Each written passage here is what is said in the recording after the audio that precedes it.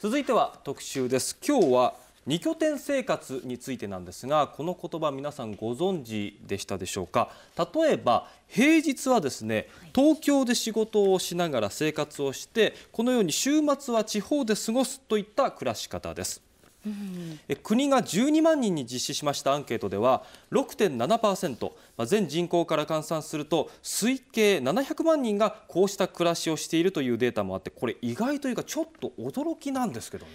そうですねでまたパーセンテージで見るよりもこの700万人という数字で聞くと、まあ、すごく多いかなという印象を受けますよね。で、ね、この2拠点生活を県外の子育て世帯向けに提供するサービスを来月から辰野町の会社が始めます。一体どんな事業なのか密着取材しました。えっ、ー、と東京から来ました。東京から来ました。都会から来た子育て世帯。畑仕事に川遊び。ランチはバーベキューです。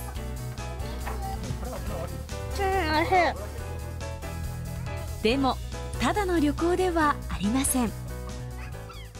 もともと多拠点生活とか2拠点生活っていうのにすごく興味があって。子育ての2拠点っていうのが魅力的で。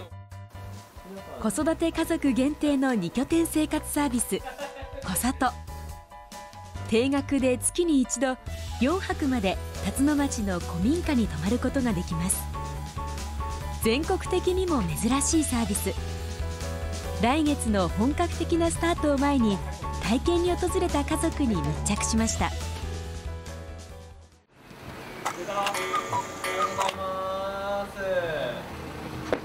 こんにちは。おはようございます。お疲れ様です。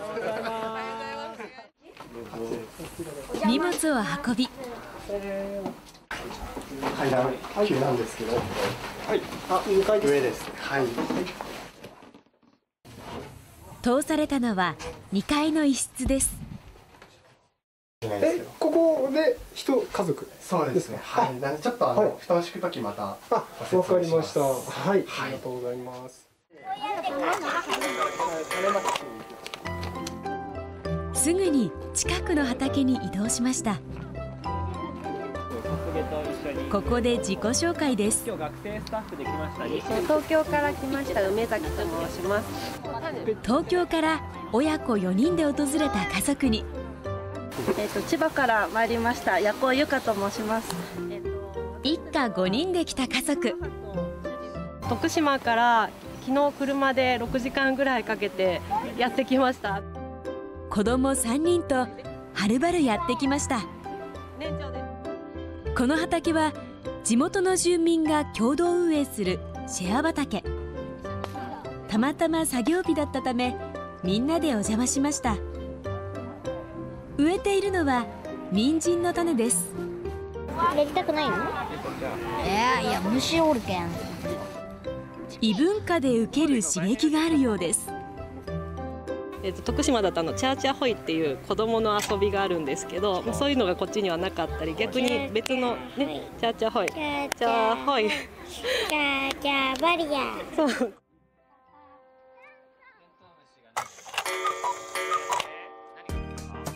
お昼ご飯は今日の。今日バーベキューやります。二拠点生活サービスを手掛ける小菅裕太郎さん現役の大学生です。大学は東京にありますが休学した後移住。一昨年起業しました。子供たちと一緒に遊んだり、まあ、多少ちょっとこの準備とか手伝ったりとかがメインで、そのもてなす人っていうよりはもう一緒に楽しむみたいな感じで、はい、みんなお肉焼けてお肉食べたいぞおいおいおいおい豪快だ。豪快だ。いいね。自然の中で自然とあのー、まあ、都会では味わえない経験とか、まあ、自分もやっぱりしたいっていうのがあるしで子供にもやっぱりしてもらいたいなっていうのがあるんで。小菅さんはもともと町おこしに関心を持っていました。偶然知り合った辰野町の地域おこし協力隊員の取り組みを手伝った縁で辰野という地域そして2拠点生活の魅力にはまりました。やっぱり2拠点生活ってすごいなんか理想的だっていろんな方思われるんですけど始めるハードルがすごい高くてそれをこうやってシェアすることによって、まあ、このコミュニティも持ちつつ、まあ、そのコミュニティと一緒にあの使う時だけその物件を使えるっていうような選択肢があると。利用者として20家族を集めその月額料金から利益と維持費を賄うそんなビジネスモデルです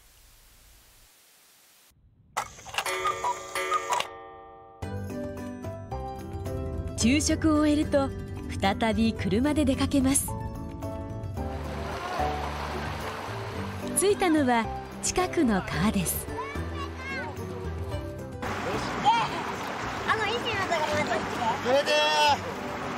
冷たい冷たい冷たい。川べりでボール遊びも。一緒に遊ぶスタッフ。実は全員が大学生です拠点古民家は借家です。壁を塗ったり床裏で断熱材を入れたり自分たちで改修も進めてきました。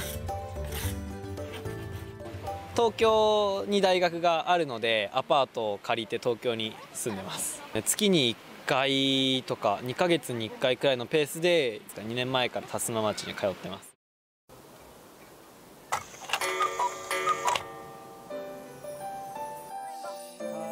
たっぷり遊んで戻ったのは夕方。またすぐに出かけます。こちらも近くにある温泉施設です。